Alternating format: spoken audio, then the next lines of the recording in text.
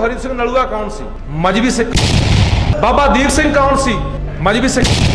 ਅਕਾਲੀ ਫੂਲਾ ਸਿੰਘ ਕੌਣ ਸੀ? ਮਜਬੀ ਸਿੱਖ।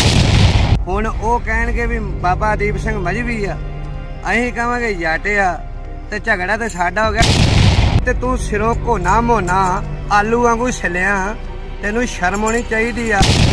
ਸਤਿ ਸ਼੍ਰੀ ਅਕਾਲ ਜੀ, ਤੁਸੀਂ ਦੇਖ ਰਹੇ ਹੋ ਤੁਹਾਡੀ ਆਵਾਜ਼, ਤੁਹਾਡਾ ਆਪਣਾ ਨਿਊਜ਼ ਲਾਈਨ ਇਸ ਵੀਡੀਓ ਨੂੰ ਦੇਖਣ ਵਾਲੇ ਸਾਰੇ ਦਰਸ਼ਕਾਂ ਦਾ ਸਵਾਗਤ ਹੈ। ਲੱਖਾ ਸਦਾਣਾ ਪੰਜਾਬੀ ਬੋਲੀ ਨੂੰ ਪ੍ਰੋਤਸਾਹਿਤ ਕਰਨ ਲਈ ਕਾਫੀ ਲੰਬੇ ਸਮੇਂ ਤੋਂ ਮਸ਼ੱਕਤ ਕਰ ਰਿਹਾ ਹੈ। ਕੁਝ ਸਮਾਂ ਪਹਿਲਾਂ ਲੱਖੇ ਸਦਾਣੇ ਵੱਲੋਂ ਪੰਜਾਬ ਦੀਆਂ ਸੜਕਾਂ ਤੇ ਲੱਗੇ ਸਾਈਨ ਬੋਰਡਾਂ ਉੱਪਰ ਅਖੀਰ ਤੇ ਲਿਖੀ ਜਾਣ ਵਾਲੀ ਪੰਜਾਬੀ ਨੂੰ ਪਹਿਲੇ ਨੰਬਰ ਦਾ ਦਰਜਾ ਦਿਵਾਉਣ ਲਈ ਕਾਫੀ ਪ੍ਰਦਰਸ਼ਨ ਕੀਤੇ ਗਏ। ਉਸ ਤੋਂ ਬਾਅਦ ਲੱਖਾ ਸਦਾਣਾ ਪੰਜਾਬ ਦੇ ਉਹਨਾਂ ਸਕੂਲਾਂ ਵਿੱਚ ਗਿਆ ਜਿੱਥੇ ਅਧਿਆਪਕਾਂ ਵੱਲੋਂ ਬੱਚਿਆਂ ਨੂੰ ਪੰਜਾਬੀ ਬੋਲਣ ਤੋਂ ਰੋਕਿਆ ਜਾਂਦਾ ਸੀ। ਇਹੋ ਜਿਹੀਆਂ ਕਈ ਗੱਲਾਂ ਕਰਕੇ ਲੱਖੇ ਸਦਾਣੇ ਨੂੰ ਪੰਜਾਬੀ ਬੋਲੀ ਦਾ ਰਾਖਾ ਵੀ ਕਿਹਾ ਜਾਣ ਲੱਗਿਆ। ਇਹੋ ਜਿਹਾ ਹੀ ਹੋਇਆ ਕੁਝ ਦਿਨ ਪਹਿਲਾਂ ਜਦੋਂ ਲੱਖਾ ਸਦਾਣਾ ਇੱਕ ਸਟੇਜ ਉੱਪਰ ਜਾਤ-ਪਾਤ ਨੂੰ ਮਿਟਾਉਣ ਲਈ ਬੋਲ ਰਿਹਾ ਸੀ ਤੇ ਲੱਖੇ ਸਦਾਣੇ ਵੱਲੋਂ ਉੱਥੇ ਬਾਬਾ ਦੀਪ ਸਿੰਘ ਤੇ ਹਰੀ ਸਿੰਘ ਨਲੂਆ ਨੂੰ ਮਜਬੀ ਸਿੱਖ ਕਹਿ ਉਦਾਹਰਨ ਦਿੱਤੀ ਗਈ। ਜਿਸ ਤੋਂ ਬਾਅਦ ਹੁਣ ਲੱਖੇ ਸਦਾਣੇ ਦਾ ਨਿਹੰਗ ਸਿੰਘਾਂ ਵੱਲੋਂ ਭਾਰੀ ਵਿਰੋਧ ਕੀਤਾ ਜਾ ਰਿਹਾ ਹੈ ਕਿ ਲੱਖੇ ਸਦਾਣੇ ਵੱਲੋਂ ਬਾਬਾ ਦੀਪ ਸਿੰਘ ਜੀ ਨੂੰ ਮਜਬੀ ਸਿੱਖ ਨਹੀਂ ਕਿਹਾ ਜਾਣਾ ਚਾਹੀਦਾ ਸੀ। ਦੇਖਦੇ ਹਾਂ ਪੂਰੀ ਵੀਡੀਓ।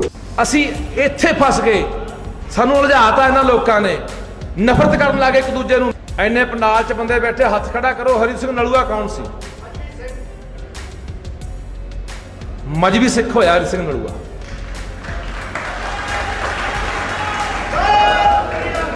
ਬਾਬਾ ਦੀਪ ਸਿੰਘ ਕੌਣ ਸੀ? ਮਜਬੀ ਸਿੱਖ ਹੋਇਆ। ਅਕਾਲੀ ਫੂਲਾ ਸਿੰਘ ਕੌਣ ਸੀ? ਮਜਬੀ ਸਿੱਖ ਹੋਇਆ।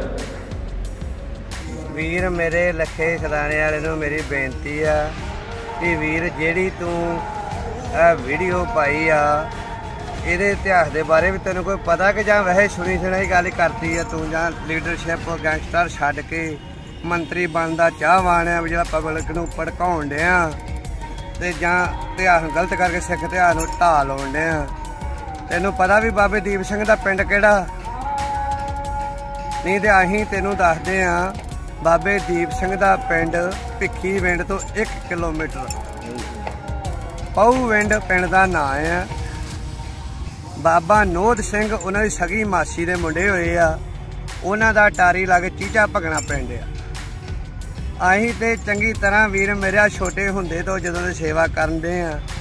ਚੰਗੀ ਤਰ੍ਹਾਂ ਘਰ-ਬਾਰ ਦਾਦ ਕੇ ਸਭ ਕੁਝ ਹੀ ਉਹਨਾਂ ਦਾ ਜਾਣਦੇ ਆ। ਤੂੰ ਬਿਨਾ ਜਾਣਨ ਤੋਂ ਹੀ ਸਿੱਖ ਇਤਿਹਾਸ ਨੂੰ ਉਰਝਾ ਰਿਹਾ। ਸਿੱਖਾਂ ਨੂੰ ਤੇ ਹਿੰਦੂਆਂ ਨੂੰ ਆਪਸ ਵਿੱਚ ਲੜਾ ਰਿਹਾ ਤੂੰ ਵੀਰ ਮੇਰਾ ਜੋ ਵੀ ਬਚਨ ਕਰਨਾ ਸਾਡੇ ਨਾਲ ਸਿੱਧਾ ਕਰ। ਅਸੀਂ ਤੈਨੂੰ ਦੱਸਾਂਗੇ ਇਤਿਹਾਸ ਕੀ ਆ ਤੇ ਕੀ ਹੁੰਦਾ। ਇਹਦੇ ਵਿੱਚ ਲੱਖਾ ਸਿੰਘ ਜੀ ਇਹ ਗੱਲ ਹੋ ਜਾਂਦੀ ਹੈ ਕਿ ਜਿੱਦਾਂ ਮਜਬੀ ਸਿੰਘ ਤੇ ਜੱਟਾਂ ਦੇ ਵਿੱਚ ਇੱਕ ਪਾੜ ਕਪਾਉਣ ਵਾਲੀ ਗੱਲ ਹੈ। ਵਿਵਾਦ ਪਵਾਤਾ ਤੂੰ। ਹਾਂ। ਹੁਣ ਉਹ ਕਹਿਣਗੇ ਵੀ ਬਾਬਾ ਦੀਪ ਸਿੰਘ ਮਜਬੀ ਆ। ਅਸੀਂ ਕਹਾਂਗੇ ਜੱਟ ਆ ਤੇ ਝਗੜਾ ਤੇ ਸਾਡਾ ਹੋ ਗਿਆ। ਤੂੰ ਤਾਂ ਆਪਣੀਆਂ ਸੀਟਾਂ ਨੂੰ ਪਿਆ ਵੀ ਮੈਂ ਤਾਂ ਹੁਣ ਗੈਂਗਸਟਰ ਤੋਂ। ਖਾਣੇ ਤੋਂ ਥਾਣੇ 'ਚ ਛਤਰ ਹੀ। ਤੇ ਬਹਿ ਗਿਆ ਤੂੰ ਕੁਰਸੀ ਤੇ। ਤੈਨੂੰ ਇਹ ਗੱਲ ਬਾਰੇ ਕੀ ਜਾਣਕਾਰੀ ਆ? ਪਹਿਲੀ ਗੱਲ ਤੇ ਤੂੰ ਸਿਰੋਂ ਕੋਨਾ ਮੋਨਾ ਆਲੂ ਵਾਂਗੂ ਛਲਿਆ। ਤੈਨੂੰ ਸ਼ਰਮ ਆਉਣੀ ਚਾਹੀਦੀ ਆ ਵੀ ਸਿੱਖ ਇਤਿਹਾਸ ਦਾ ਵਜਨ ਕਰਨ ਲੱਗੇ ਤੈਨੂੰ ਸ਼ਰਮ ਆਉਣੀ ਚਾਹੀਦੀ ਆ।